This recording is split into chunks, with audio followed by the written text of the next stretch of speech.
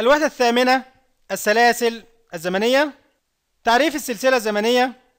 السلسلة الزمنية هي مجموعة مشاهدات مرتبة حسب الزمن وغالبا ما تكون الفترات الزمنية متساوية ومتعاقبة وتختلف هذه الفترات حسب طبيعة الظاهرة محل الدراسة. استخدامات السلاسل الزمنية. السلاسل الزمنية لها استخدامات هامة في مجالات عديدة منها الإحصاءات الاقتصادية والتجارية والسكانية.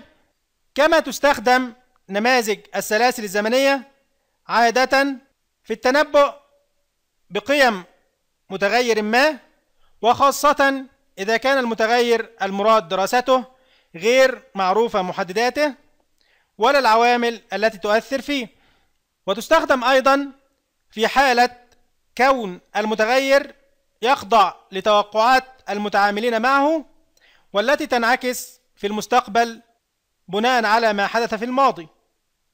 فعلى سبيل المثال إذا أخذنا متغير مثل الناتج المحلي الإجمالي خلال سنوات معينة وكان هدفنا تقديره وحيث أن هذا المتغير كغيره من المتغيرات يتحرك مع الزمن فإننا نتوقع أن يأخذ عدة أشكال عند رسمه كأن يكون على شكل خطي أو شكل غير خطي.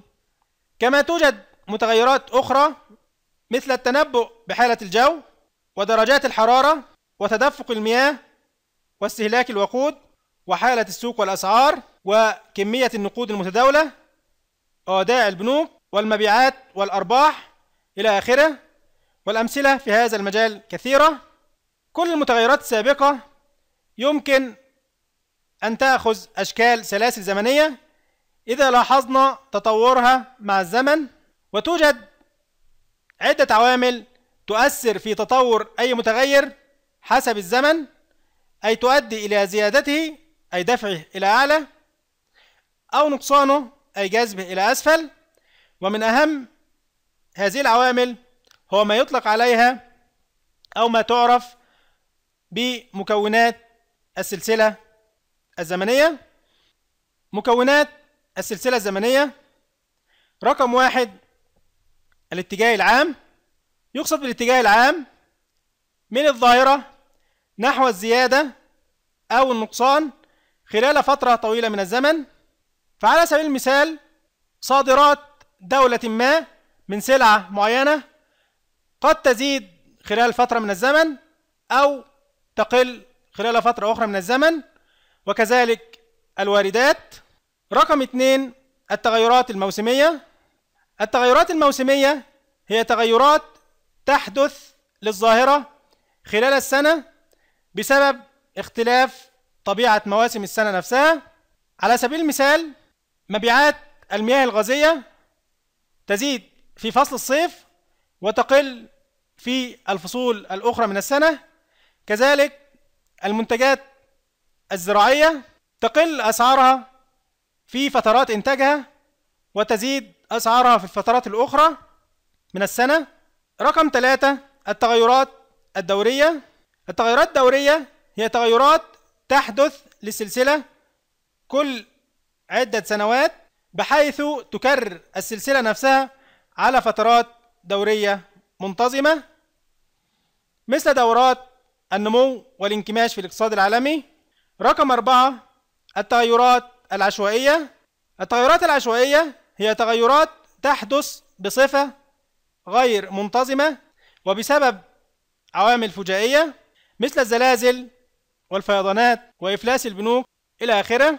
طرق قياس الاتجاه العام يتطلب تحليل السلاسل الزمنية عادة تحليل المكونات الأربعة للسلسلة الزمنية والتي سبق ذكرها وغالبا ما تخلو السلاسل الزمنية من التغيرات الموسمية والتغيرات الدورية والتغيرات العشوائية.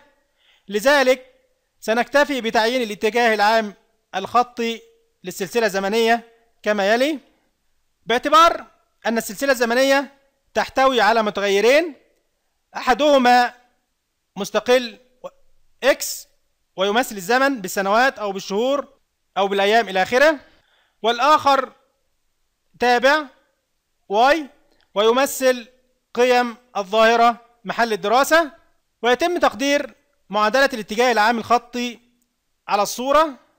y hat تساوي b صفر زائد b واحد x زائد e حيث b صفر مقدار ثابت وهو الجزء المقطوع من المحور الرأسي محور y و b واحد هو ميل محور y بالنسبة للزمن أو معدل التغير و e هو حد الخطأ العشوائي.